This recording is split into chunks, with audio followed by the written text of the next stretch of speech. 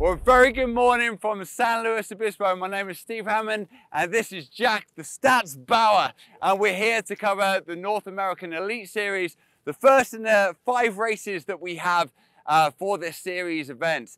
Uh, we have the men's field here, absolutely stacked, Jack um, with a quite a fast course, 6.4 miles and there's only about 500 feet of elevation gain. So we know for the first 5K that this course is absolutely lightning fast and it gets into a good obstacle gauntlet for the last half. The men's field is stacked. However, who's going to suit this course, Jack? To say it's stacked is an understatement. There are 13 previous podium finishers on a national series who are here. That means that someone who has finished top three at one of these major races is going to finish in 13th or worse unreal. We saw what VJ Jones did all last year, three wins, reigning National Series champion. He just set the record for the fastest super ever a couple weeks ago. This is yeah, a super that was course. sub 40 minutes, wasn't it? Exactly. Very quick and, times. I mean, he's the man to beat. Until yeah. he gets beaten, I don't see any way that he's losing. Ryan Atkins just biked across Alaska a couple weeks ago, but we've seen what he's done with recovery through the years. Current world Doesn't champ. matter. He's Mr. Second Place. I can see him getting second place again. Third place, that's where the battle is going to be. Yep.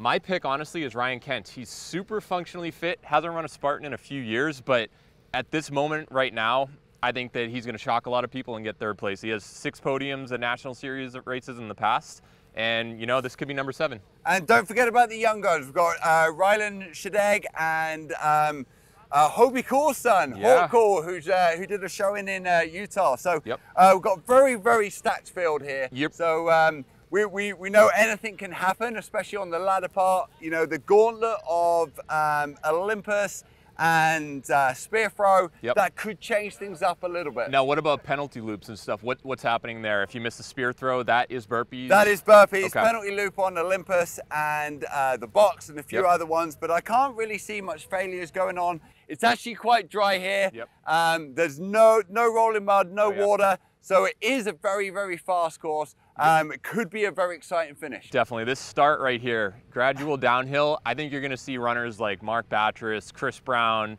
Mark Gaudet, some of the speedier guys right away, just going easily sub five minute miles for the first mile or so. And don't forget, Hunter McIntyre is making his return. We haven't seen him on the course in five years. Whenever he shows up, he's always a contender. The hunter is here. That's really really The bald pony is back. Fantastic. Well, as we know, super deep field, anything can happen. I actually think Jack it's wide open. Good luck keeping up. This is going to be a fast day.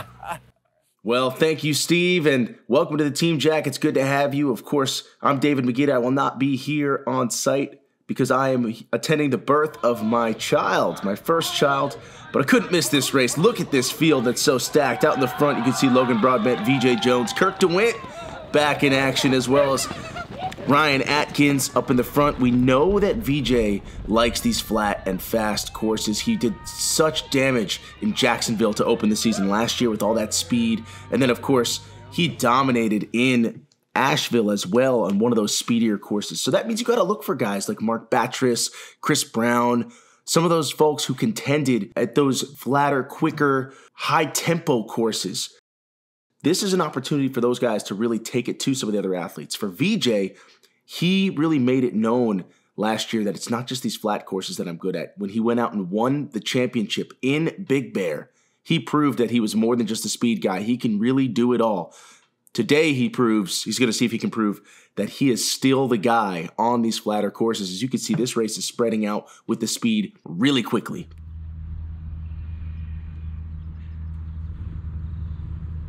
And so as we funnel in here, a little bit of mud. It's mostly going to be drier out on this course. The obstacles will be mostly dry.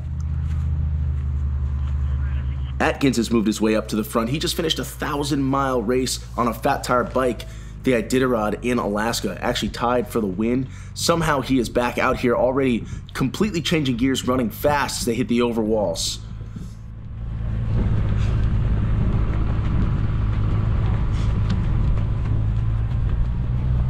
And the depth of this men's field needs to be acknowledged because there's so much speed, and that looks like it's Hawk Call up in the front.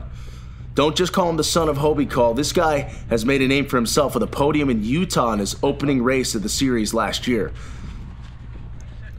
And just behind him, that's Mark Batres. We know what he can do on a marathon course. We've seen what he did in Asheville, running so strong there as well last year. He likes the speed. Atkins right next to VJ Jones. And this might be a move from Mark Gaudet. Oh my god, Dad. And there you heard it. He likes the speed as well. The Army Ranger can really turn it over. He's your Ultra World Champion. Went out to Telluride and dominated, breaking the Spartan Ultra record. This is a great course for him to be able to use his tempo speed, his threshold speed.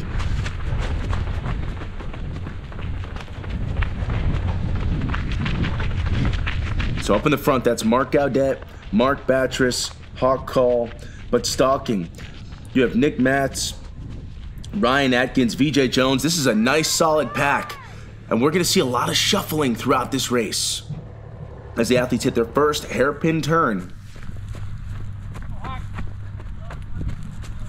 These little changes, these little turns, they actually take a bit out of you because you have to slow down and re-accelerate out of them. So they break your rhythm and they take a little bit more energy than just being able to hold a tempo. Some of these athletes are rhythm runners. They need that rhythm, and this is a rhythm breaker.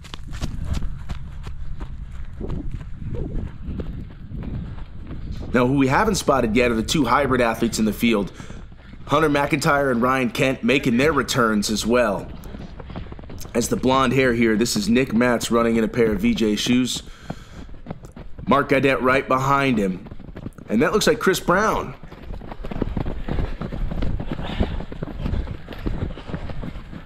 Ryan Atkins comfortably sitting back. The question is, will he have the speed and the legs today? As now you can see Tyler Veerman also joining the action, and that's Kirk DeWitt in the black, taking up the rear of that lead pack.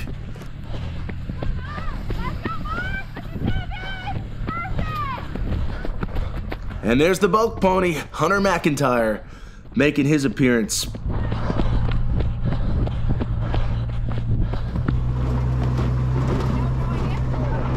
The speed these guys are running with, we're looking at five flat pace right now. They are rolling through these fields. So it does have that cross country course feel, doesn't it? Some of these athletes love to chew up terrain like this. Other ones are more into the grind, but the most versatile athletes out in this field are able to do it all. The Ryan Atkins, the VJ Jones, it doesn't matter what course you throw at them, they are going to be a contender regardless.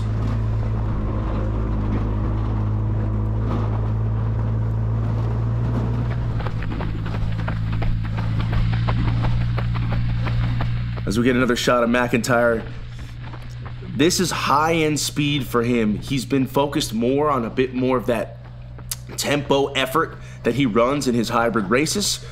This is a very high speed. As you can see, Nick Matz up at the front. This is an Eastern Oregon runner. He was actually a conference champion in college, so he has tremendous track speed. Look for him to take advantage of it today as he's pushing VJ Jones a little bit out of his comfort zone. VJ Jones so disciplined though, won't fall into the trap. He runs his race.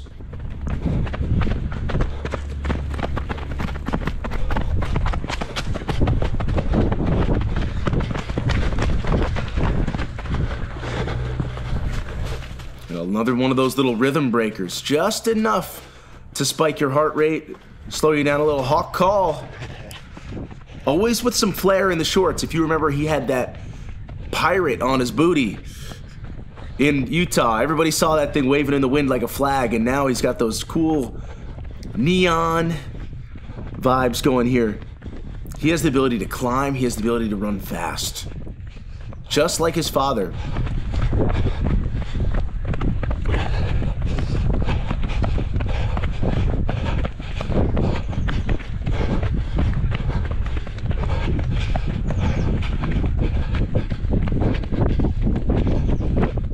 Starting to see a little bit of gap forming, but as soon as we hit a good solid stretch of obstacles, expect that to close. Expect there to be a ton of shuffling over the top 10 to 15 racers throughout this event. And that's Hunter McIntyre running steps in front of Logan Broadbent. Broadbent finished fourth in this series last year. The world champion boomerang thrower and American Ninja Warrior contender in the jorts right there, the short jorts.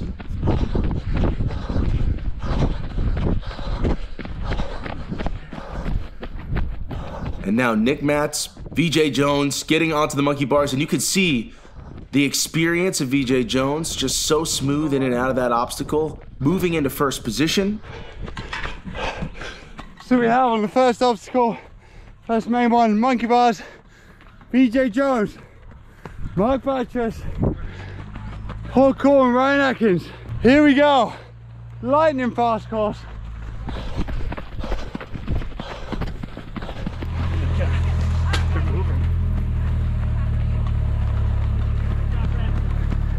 Kirk DeWitt with Tyler Veerman right now. Another two former collegiate track athletes working together, and then Josiah Middaugh chasing right behind.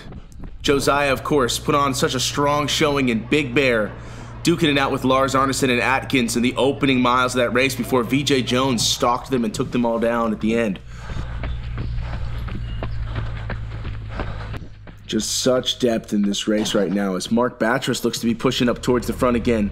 Glenn Racz chasing right behind Logan Broadbent into that barbed wire crawl.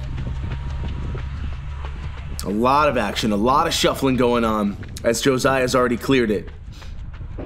He's more of one of those gritty racers. He likes those that tougher terrain. His background in Xterra means he's got the capability to really roll when the terrain and the footing isn't perfect. When the climbing is tougher, he's got great speed. This is a tough test for him today.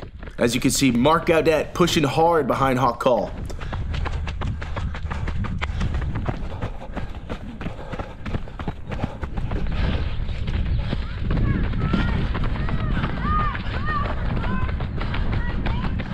Mark Gaudet, one of those athletes with 15 minute low speed for his 5K, but also can turn it over on ultras. He's had podium finishes at the Icy 8 hour, multiple top 10 finishes at the JFK 50 miler. And there's a spot, a shot of Rylan Shadeg making his way onto the scene. We saw how strong he was climbing in Utah, but this is again a different test of his athleticism as Chris Brown and Ryan Atkins pushing together through this field. You can see the terrain is going to get a little choppier with the footing just because we're not on those dirt roads anymore, but still fairly smooth. You can see how open that stride is for Hawk Call.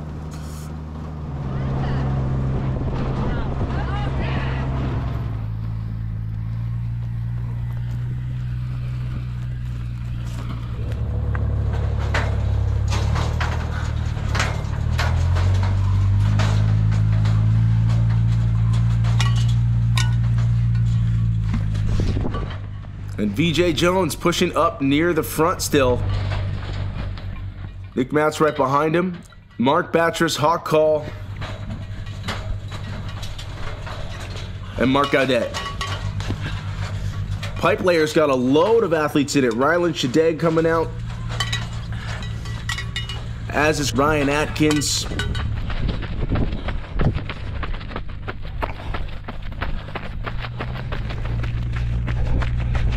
But again, always lurking at the front is VJ Jones, not letting anybody push him to run a race other than his own.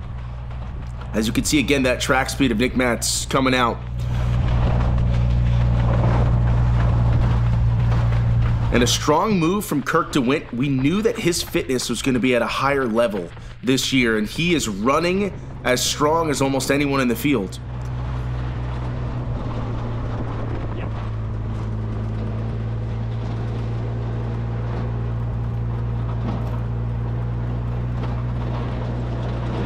Anytime you hit this gravel, you are getting such fantastic return off of your foot to ground power.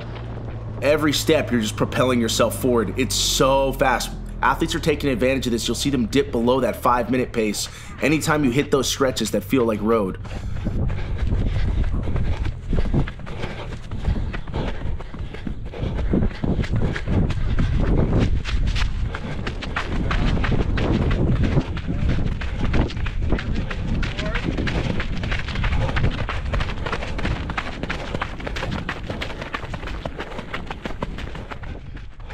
And again, if you're betting, you have to assume VJ Jones is in a fantastic place as we take another one of those 180s. And you see it take a little bit out of those legs. It's an opportunity for VJ to really assert himself on the obstacles, and he's going to need to because even though he's got other experienced racers with him, he is going to be the quickest of these leaders through those obstacles, making up a few seconds here and there. VJ.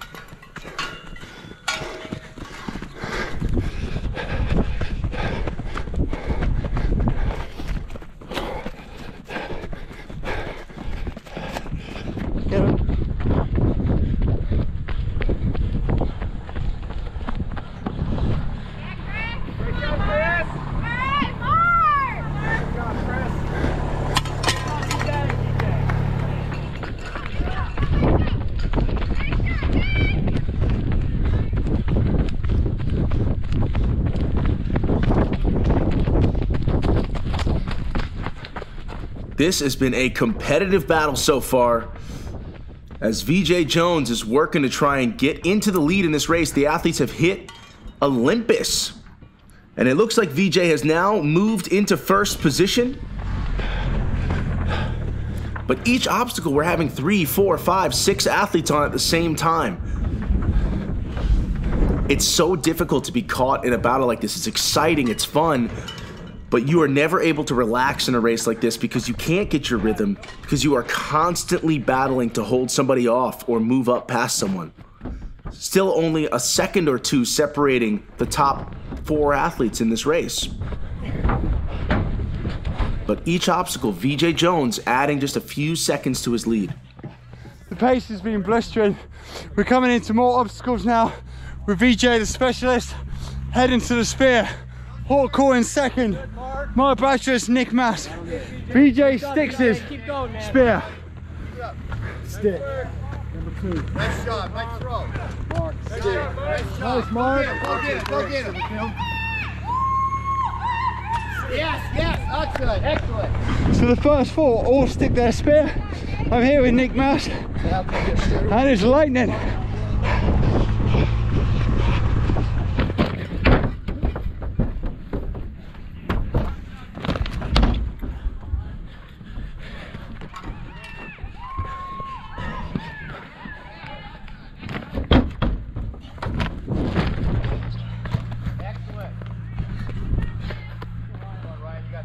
Ryan Atkins trying to shake off some of the rust of being on that bike for so long out in that cold Alaska weather. No problem on the spear, but he's got to turn it over now. He tends to be a second half racer, but he's running out of real estate.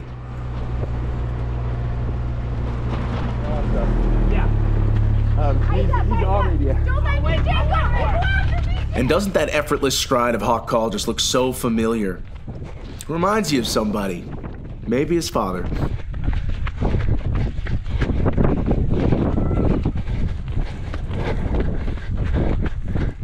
Leaders are reaching the Atlas Stone right now.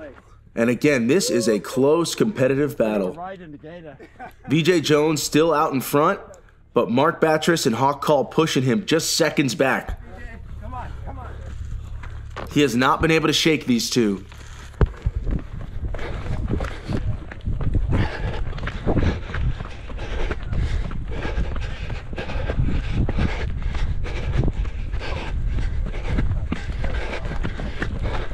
And onto the multi-rig. These are the obstacles where you'll see him take just a couple seconds again.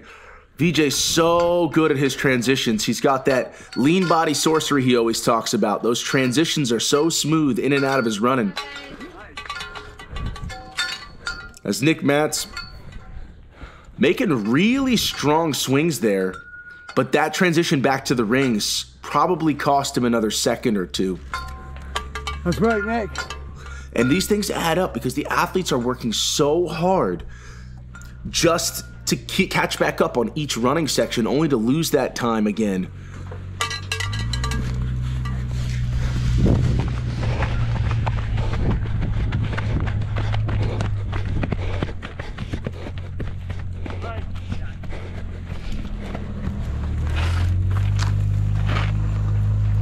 So I'm here at the bucket.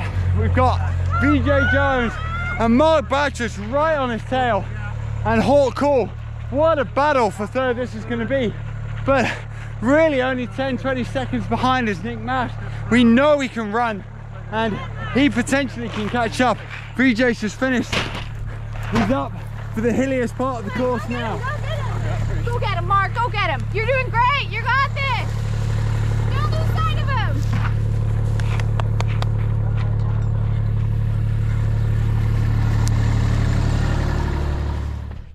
Sometimes when you see these races and you look at Mark Batres, you can see that he either has it or he doesn't have it. But he has that look in his eye in this race that I've got the legs today, that he's running with that level of confidence. Often you see him go out hot and he starts to fade a little bit. Maybe he miscalculated, but he looks so smooth in this specific race. When he has that look of focus on his face, he's very tough to beat.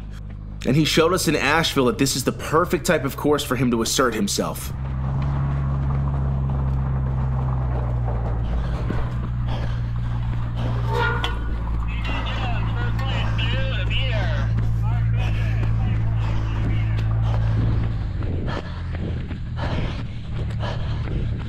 But again, VJ Jones running just only a second or two ahead of Mark Batres, and it looks like Hawk Call still holding on to third position. But a gap forming there. The obstacles are starting to add up.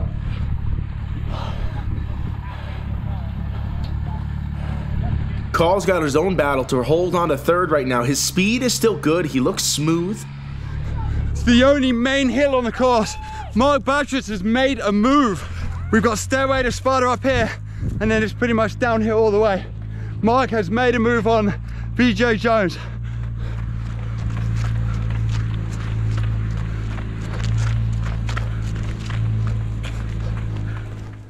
And this is that version of Mark Batres I was talking about where he looks so confident when he's running at the front of the race. He has the endurance to hold these these speeds for these long events.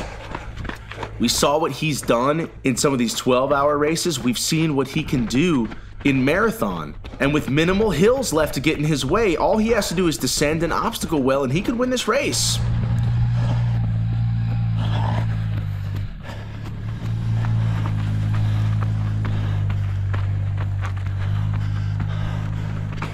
Almost to the top of this big climb. And still Mark Batres out in front as he hits Stairway to Sparta, but he has to continue to be proficient through his obstacles. Your world selfish medal champion, Mark Batres, has proven he can do long course and short course. But VJ Jones right behind and Hawk Call. 1.2 miles to the finish. It's gonna be insane. That's true, Steve, because Mark Batres knows he's got a demon chasing him. We saw that comeback that VJ Jones made in the last three quarters of a mile in Big Bear. We saw how he was able to chase down Ryan Atkins through the bucket carry, how he was so smooth through his final obstacles, the speed he held on that last descent. Mark Batres is going to need to give us everything if he wants to hold this lead. As Nick Matz is pushing for third right now.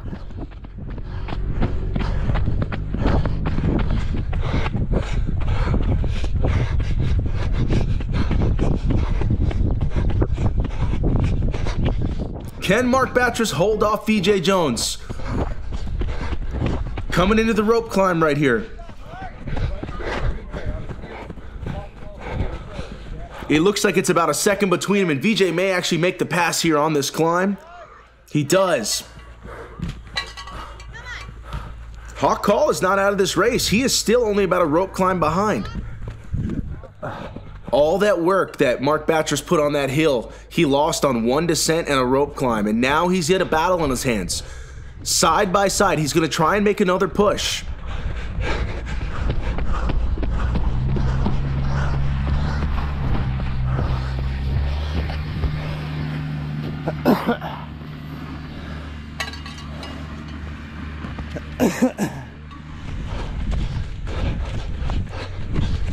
This is going to be about who's got the guts now.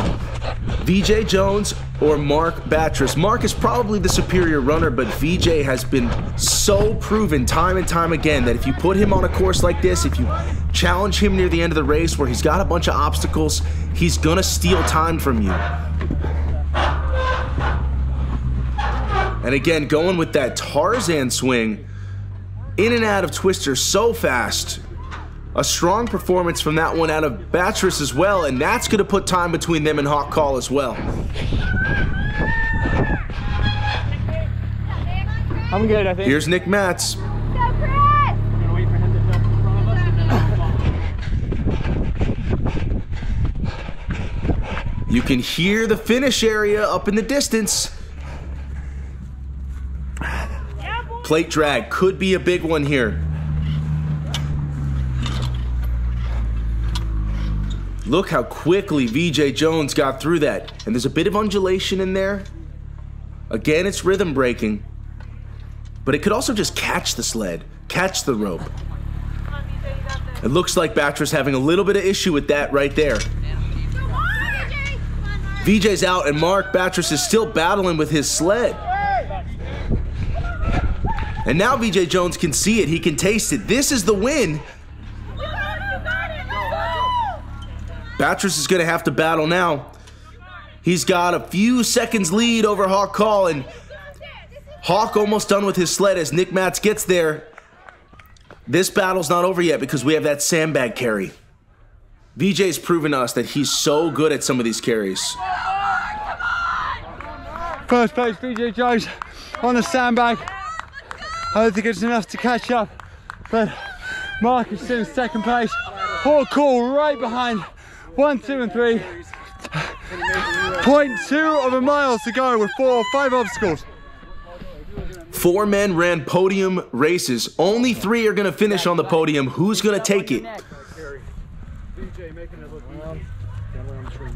VJ looks like he's able to take a breath right here. He's slowing down just a little bit, not necessarily out of fatigue, but to rally for one finish and push. He's in a comfortable position with a nice lead. And now he's going to surge home to that finish.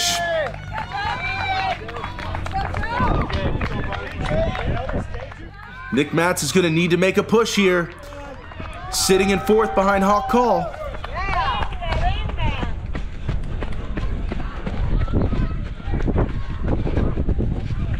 And VJ's to go right up over this table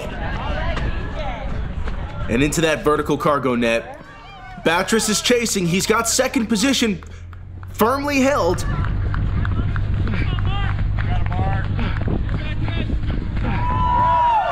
Up and over the slip wall. This is Mr. VJ Jones.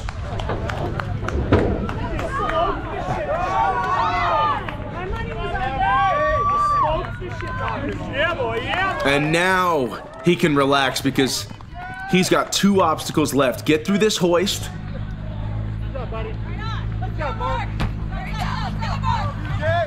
VJ with those long pulls, leveraging that foot, big lean away.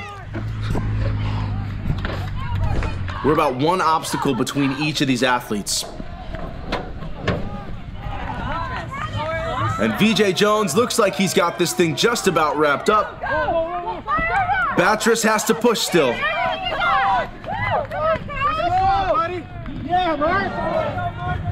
Mr. VJ Jones descending over the top. Let's see if he throws a party.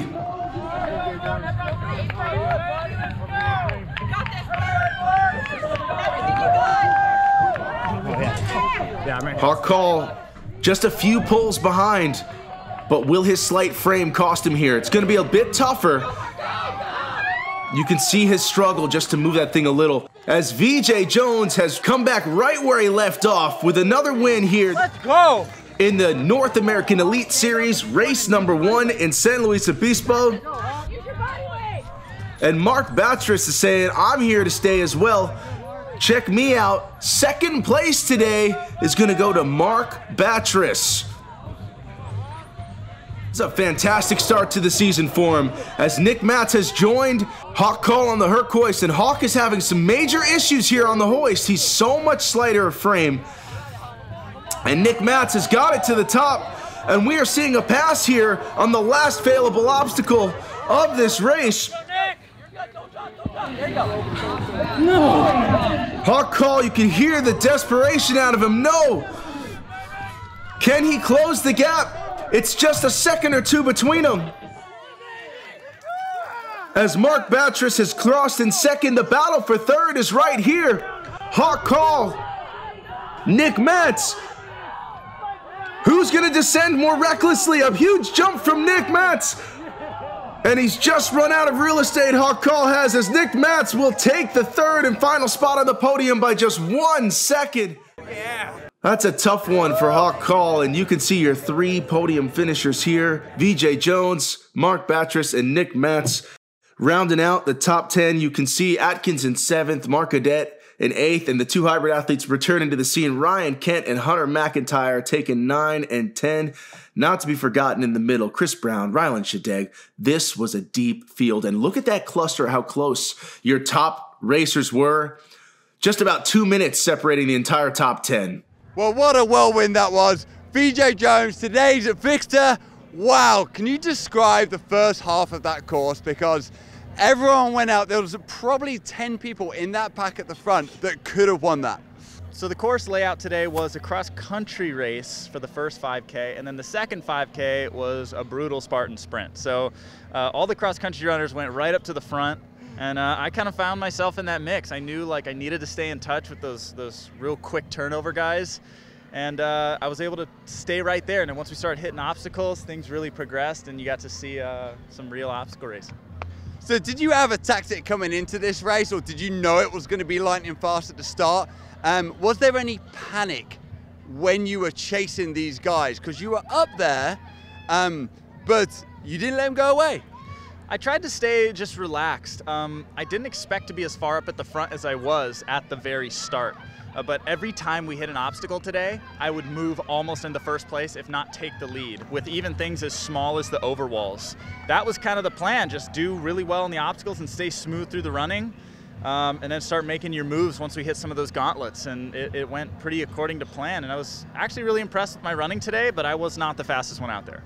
I've never seen so many lead changes, VJ. There was probably about six or seven different lead changes um, out there. We had Nick Matz leading at one point, Chris Brown leading at one point, Mark Batres leading at one point. Now, Mark made a move on you towards the end, uh, going up that hill. What was going through your mind? Describe that feeling of seeing Mark just moving up ahead. Did you have a plan in your head? So the exciting thing about obstacle racing is that you can sell out at a moment and then have a little time to recover and do it again versus in normal running you can blow up and that'll be the end of your race so heading into that climb i had worked pretty hard and i was on the verge of cracking. So i had to like back it down and in that moment mark decided to sell out up that hill. I knew we had a gauntlet coming up um, and i think he knew that as well. So making that move was pretty much the only time that he could where it would count. So he, he went for it, and I, I, respect it, but I was able to make up that ground on a couple obstacles really quick. My obstacle game is just like really dialed right now. Well, you've had uh, so much experience under your belt now. You're still only, how old are you, 22 or something? 23 now. 23, 23 years old, but your maturity in the sport uh, is just growing and growing, and I think I saw that today uh, with your obstacle game. Um, so congratulations, VJ. What an amazing victory that you had. Um, are you looking forward to Big Bear? Oh, I'm so excited. You know, we're venturing into those like mountain beast races this year. I feel like I have enough time to prepare, and I'm, I'm really excited to test myself in that uh, little unfamiliar arena. I'm really excited for this season, and this is a great start. Well, VJ Jones, today's men's champion for the North American Elite Series. What a guy. Uh, what a race. Well done, mate. Thanks See you in Big Bear. Thanks a lot, Steve. And VJ Jones, an athlete who clearly knows who he is as a racer. He raced with confidence. He knows exactly where he needs to make his moves and where he can make his time. And as we look forward to May in Big Bear for race two of the North American Elite Series, VJ Jones comes into that with a 300 points from first place here today. And of course, knowing that he is the defending champion on that Big Bear course. So don't forget to join us in May. We look forward to seeing you there in Big Bear.